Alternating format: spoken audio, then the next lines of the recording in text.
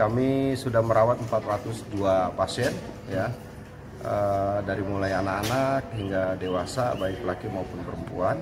Kemudian ada pasien yang meninggal 5 itu terkait dengan karena keterlambatan rujukan datang ke RSUD kami dalam kondisi sudah kondisi yang cukup eh, memprihatinkan. Hmm, Saya lihat tadi menumpuk ya Pak. Eh, emang apakah emang kamarnya itu penuh atau gimana Pak? Ya, kami sebetulnya eh, sudah kebanjiran pasien ya dari sebelum Ramadan, tiga bulan sebelum Ramadan hingga hari ini eh, pasien-pasien cukup luar biasa eh, datang ke RSUD kami, eh, sehingga kondisi GD kami juga menumpuk dan ruang rawat inap kami juga dalam kondisi yang penuh ya. Jadi artinya antusias masyarakat, mungkin insya Allah kepercayaan kepada RSUD tapi memang kondisinya saat ini memang eh, cukup eh, penuh ya di GD. Kalau untuk kasus terbanyak di RSUD Pak, eh, dilihat dari IGD kan tadi penuh tuh. Nah, Apa itu aja? apa ya Pak?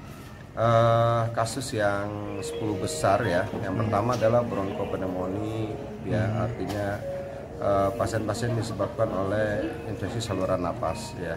Mungkin karena cuaca, perubahan cuaca yang begitu ekstrim. Kemudian juga ada di Januari sampai hari ini juga DBD juga cukup eh, tinggi ya dan penyakit-penyakit lainnya yang demam ya yang kemudian tidak bisa dispesifikasikan demamnya diakibatkan oleh virus ya sehingga eh, ini menjadi eh, sebuah tantangan buat kita eh, tentang berbagai eh, macam penyakit yang hadir di RSUD. Dan sekali lagi Pak, untuk DBD eh, anak 10 tahun itu paling banyak Pak. Rata-rata usia. Eh, Pak? rata- Eh, usia anak tuh rata-rata di as bayi juga ada yang 9 bulan, kemudian anak-anak Di bawah 10 tahun di ya? bawah 10 tahun ya. Ada juga yang di, di atas di atas 11 tahun sampai 15 tahun juga. Kondisinya cukup merata jadi tidak bisa dispesifikasi. Hmm. Dan pesannya Pak, eh, pesan untuk masyarakat yang terkena DBD-nya seperti apa? Antisipasi.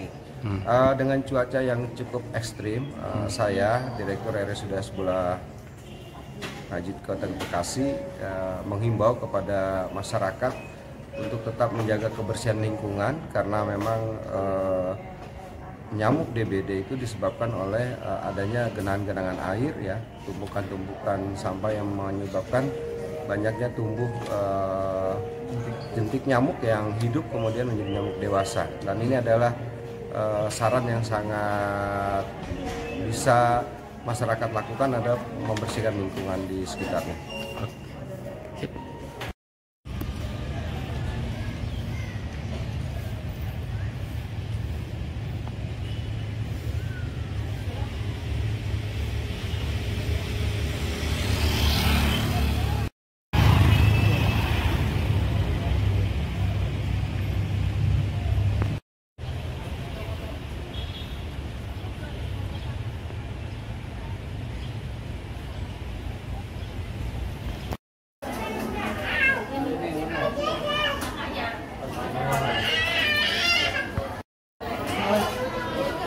的